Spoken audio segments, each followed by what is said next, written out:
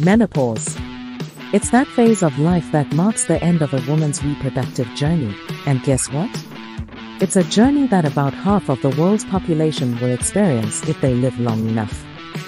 But hold on, because this chapter in a woman's life is still shrouded in mystery. You see, menopause isn't just about fertility going out the window due to a drop in hormones, primarily estrogen. It's a whole lot more. Women going through perimenopause, those years leading up to menopause, face a lot of symptoms like hot flashes, brain fog, mood swings, exhaustion, and sleep disturbances. And guess what? It's not just limited to the reproductive organs.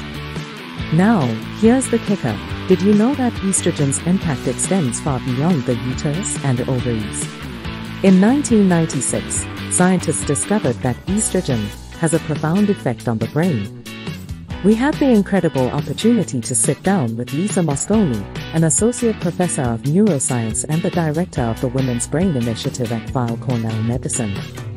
Her groundbreaking research involved scanning the brains of over 160 women between 40 and 65, including those who were premenopausal, perimenopausal, and postmenopausal.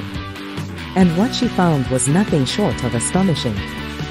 Women's brains undergo a complete transformation during menopause. The brain gets rewired, some areas shrink, others grow, and regions undergo a complete remodeling. This is a revelation that's revolutionizing our understanding of menopause. You know, we often talk about puberty and pregnancy as significant phases in a woman's life. But here's the scoop, from a neurological perspective, these three phases, puberty, pregnancy, and perimenopause, have a lot in common. They all bring about significant changes in the brain, not just the body. It's time to recognize the resilience that comes with these transformations. So, if you're on this journey or know someone who is, what can you do to make it smoother? Here are Lisa Mosconi's top 5 tips. Say no to tobacco smoking, even passive smoke, is a big no-no. It disrupts ovarian tissues, accelerates aging, and makes menopausal symptoms worse. Get moving, exercise, especially aerobic activities like brisk walking, can work wonders for hormonal and brain health. It helps with hot flashes, brain fog, and memory lapses. Eat right, a plant-based diet filled with whole foods is your best friend.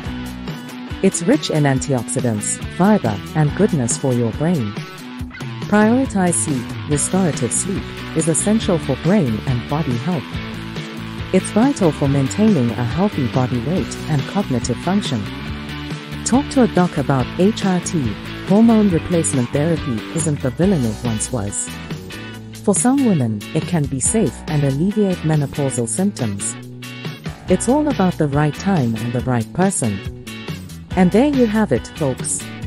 Menopause, a phase of life that's reshaping not just your body but your brain too. We hope these tips help you navigate this journey with grace. Stay tuned for more fascinating stories, and remember, knowledge is power,